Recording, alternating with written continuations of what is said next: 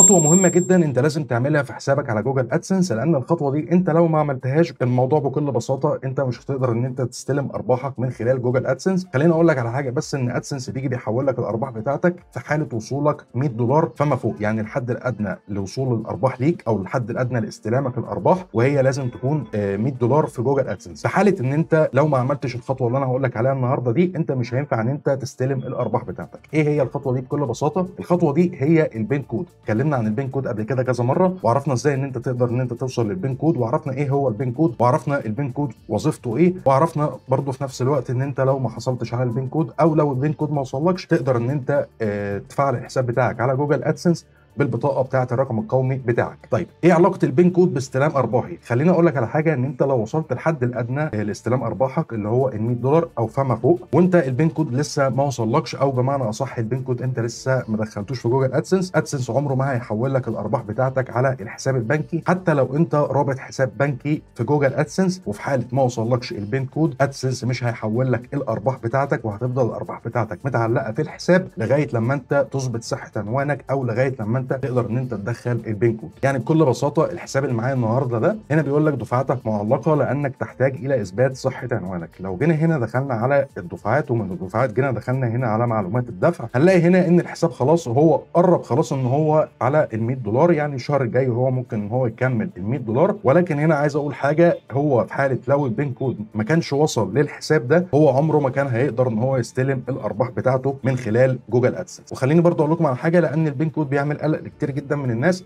الحساب اللي معايا أو الحساب اللي أنا شغال عليه النهارده ده ال PIN code وصل له بعد المرة الثالثه يعني إيه بعد المرة الثالثه يعني أنت لما بتوصل ل 10 دولار AdSense بيبدأ إن هو يبعت لك ال PIN code بتاعك في المرة الأولى بشكل تلقائي وليك بعد كده إن أنت تطلبه ثلاث مرات زي ما عرفنا في الفيديوهات اللي فاتت. الحساب اللي معايا النهارده ده ال PIN code وصل له بعد المرة الثالثه يعني AdSense بعته له المرة الأولى ما وصلش. اضطرينا إن إحنا نطلبه للمرة الأولى برضه ما وصلش. المرة الثانية طلبناه وصل بعد المرة الثالثه وكان فاضل لنا محاولة واحدة بس عشان نقدر ان إحنا نحصل على ال PIN code. وبعد كده كنا هنلجأ ان إحنا نفعل الحساب بتاعنا ده بالبطاقة الشخصية أو ببطاقة الرقم القومي بتاعة صاحب الحساب. طيب أنا دلوقتي وصلني ال PIN code. أعمل إيه؟ كل اللي عليك دلوقتي اللي أنت هتعمله إنك هتدخل على إثبات الهوية وصحة العنوان. بعد ما بتدخل على إثبات الهوية وصحة العنوان هنا بيقول لك التحقق من العنوان بحاجة إلى اهتمام. التحقق من العنوان بحاجة إيه إلى اهتمام لأنك أنت لسه ما دخلتش ال PIN code في الحساب بتاعك. هنا بيقول لك ادخال رقم التعريف الشخصي PIN الذي أرسلناه عبر البريد إلى عنوان الدفع الخاص بك وهنا بيقول لك رقم التعريف الشخصي للتحقق المكون من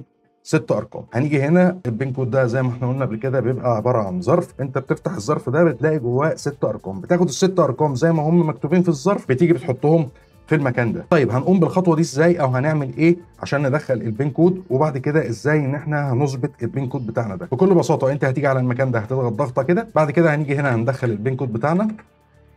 بعد كده خلاص انت دخلت الست ارقام اللي هم مكتوبين في الظرف بتاعك بتيجي هنا بتضغط على كلمة إرسال. بعد ما بتيجي بتضغط على كلمة إرسال هنا التحقق من العنوان بقت إيه؟ بقت مكتملة. التحقق من العنوان من شوية كانت بحاجة إلى اهتمام. طيب حد هيجي يقول لي دلوقتي هيقول لي طيب ما فوق لسه برضه التعليق زي ما هو؟ دفعتك معلقة لأنك تحتاج إلى إثبات صحة عنوانك. هنيجي في أي مكان فاضي هنا نضغط click يمين بعد كده هنعمل reload ادي كده خلاص الإشعار اللي باللون الاحمر اللي عندنا فوق راح مفيش أي مشكلة خالص. وبكده أنت أثبتت صحة عنوانك أو بمعنى أصح دخلت ال PIN code بتاعك في حسابك على Google AdSense بدون أي مشاكل وبدون أي عوائق خالص. طيب أنا دلوقتي في الحالة بتاعتي أنا شغال من الكمبيوتر مش شغال من الموبايل. في حالة برضو إن الناس اللي بتبقى شغالة من الموبايل أو بتبقى بمعنى أصح بتتعامل على Google AdSense من الموبايل تشيل الإشعار اللي كان فوق ده إزاي؟ اللي هو بتاع دفعاتك معلقة لأنك تحتاج إلى إثبات صحة عنوانك. بكل بساطة يا إما هتعمل refresh للصفحة يا إما هتخرج من الحساب بتاع AdSense وهتدخل تاني هتلاقي إن الإشعار راح بدون أي مشاكل اطلاقا. وكده أنت تقدر إن أنت لو وصلت الحد الأدنى للأرباح بتاعتك أو بمعنى أصح كملت ال 100 دولار AdSense هيقدر إن هو يحول لك الأرباح بتاعتك على حسابك البنكي بدون أي مشاكل. لكن في حالة إن أنت لو كملت الأرباح بتاعتك أو وصلت الحد الأدنى ليها بدون ما أنت تدخل ال PIN code في حسابك على Google AdSense ساعتها هي دي هتبقى المشكلة وساعتها هي دي اللي ممكن تعمل لك مشكلة إن أنت ما تستلمش الأرباح بتاعتك. وهو ده كان الفيديو بتاع النهارده؟ اللي أنا حبيت إن أنا أعرفكم فيه إن أنت ما ينفعش إن أنت تستلم الأرباح بتاعتك إلا لما يوصل لك ال PIN code أو لما تدخل ال PIN code في الحساب بتاعك. وفي نفس الوقت برضه خدنا نبذة مختصرة كده ونبذة سريعة عن طريقه دخول ال PIN code في حسابك على Google AdSense. لو عندك أي استفسار أو عندك أي سؤال اكتب لي تحت في الكومنتات وهرد عليك like و share subscribe وأي link للتواصل الاجتماعي الخاص بيا للتواصل معايا هتلاقوه تحت في ال description اشوفكم في الفيديو الجاي سلام.